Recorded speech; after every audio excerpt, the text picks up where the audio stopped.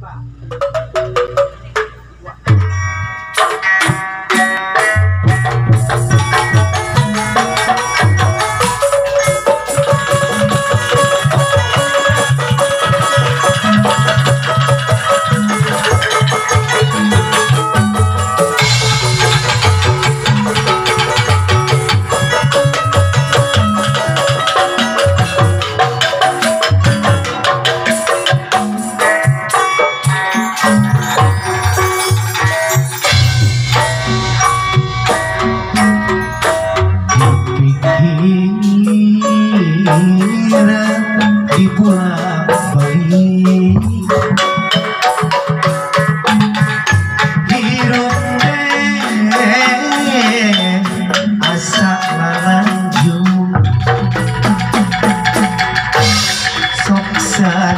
Yeah.